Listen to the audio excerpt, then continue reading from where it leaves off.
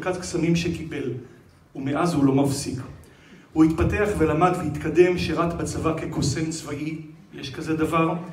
מאז הוא ממשיך לחדש ולהתחדש ולהופיע בארץ ובכל העולם, מיפן ועד פסטיבל כאן, שם. הוא מצחיק, כריזמטי, שונה ומיוחד, ואת פרס עידוד היצירה הוא מקבל על המופע אשליה או לא היה, ועל פיתוח קסם ענק בגודל שניים על שלושה מטרים, שזה בעצם פאזל שמציג את סיפור חייו בקסם. איתי התופעה.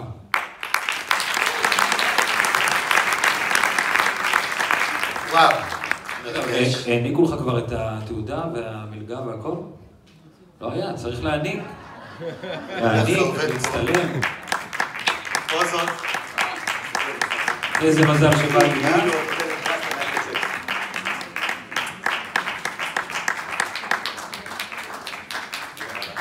תודה רבה לאייל באייר, ועכשיו נראה קטע מתוך איתי התופעה, בבקשה. שלום לכולם! אור בקהל! אור בקהל, נורא חשוב. כמה קל לראות את הקהל שהאור בקהל. אם יהיה אור בקהל, יהיה קל לראות את הקהל. לא קל. שם על התאורה. תכף אני... אור בקהל, אני לא התכוונתי שאור כהן בקהל, אלא אור בקהל. אור, אור, קצת יותר אור. עשית רק לחצי ששילמו, אור, מעולה. שלום לכולם. אה, אני צריך נייר, חתיכת נייר. אני חושב שזה הקטע שאני עושה עכשיו. כן. נייר. חתיכת נייר, חשבונית, קבלה, משהו שיש לכם בכיס. משהו. או, הנה. אפילו כאילו ידע את זה מראש, שמור. בשבילי. נייר. למה ביקשתי נייר? כי עם נייר, פשוט, אפשר לעשות אומנות. הדברים הכי פשוטים, זה הדברים הראשונים שאיתם יוצרים חיים. תנו לילד חתיכת נייר קטנה ותבקשו ממנו לשחק איתה. הוא ייכנס כל כך לתוכה וייצור עולם שלם, עולם שלם של אשליה בשבילו, של משחק, של יצירה.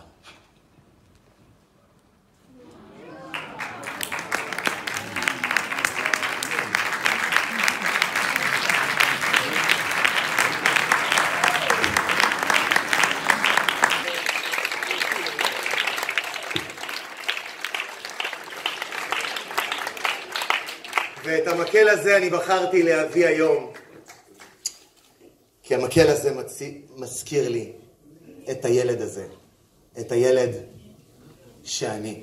המזכיר, המקל הזה הולך איתי כמעט כל החיים, הוא קצת עובר שינויים.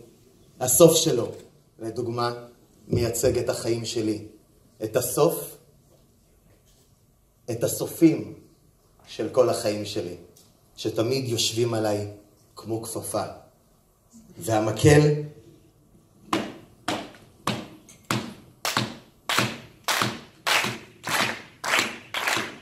מזכיר לי את הקצב של האשליה.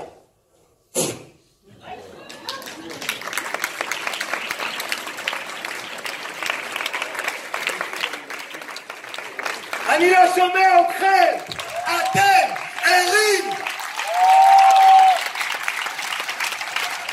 תודה רבה.